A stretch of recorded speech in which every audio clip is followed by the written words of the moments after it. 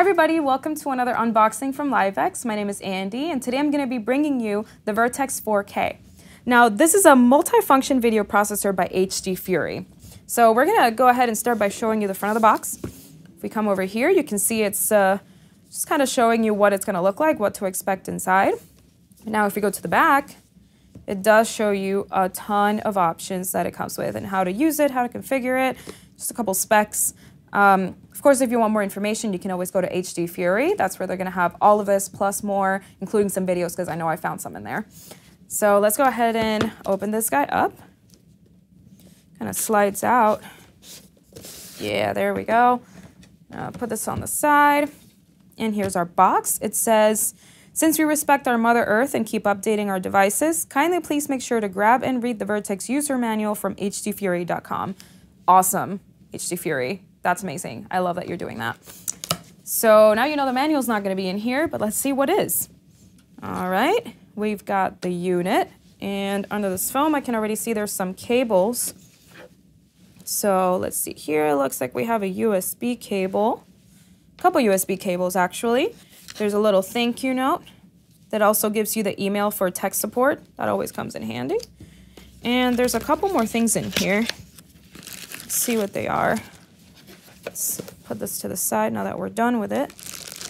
And it looks like this first one has some USB input, some USB ports.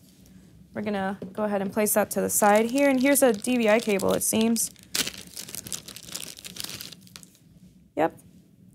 Here's our second cable. So now that we've looked at all our cables, I'm gonna go ahead and put them over to the side so we can focus on the unit itself. Put this down here. And here we go. So here's our Vertex 4K. Uh, let's start by looking at the back.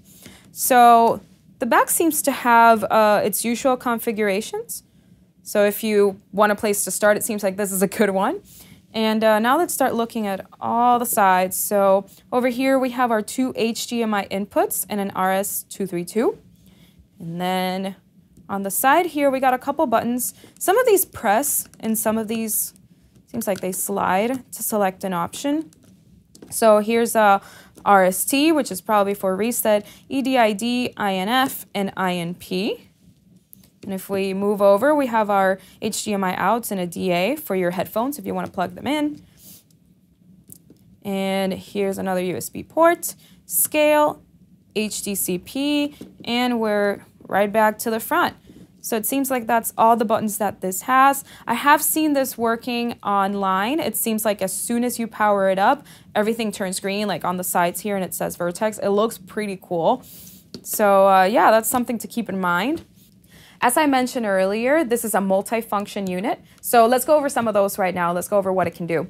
So for starters, it can work as a switcher. So it can work between switching two inputs as we were able to see over here, back and forth. And uh, you can scale them to one or more outputs, which are the two that we have over here. And uh, it also works with ultra scaling, so it can upscale, downscale, pass through, and bypass. And uh, it can also uh, support any HDMI, any HDCP, and any HDR up to HDR 10 plus. Uh, when I was doing some research into what this would work for, I noticed that most of the information was coming from gamers. So it seems like this is really cool if you want to be streaming your game live. Uh, it provides virtually no latency, so that's also really nice. And uh, you're able to not lose your resolution uh, while you're playing at the same time as you're streaming. So that's a pretty cool note.